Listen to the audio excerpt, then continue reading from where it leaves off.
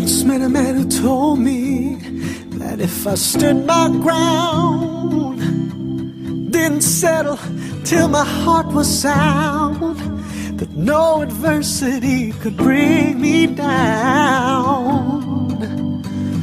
And my mother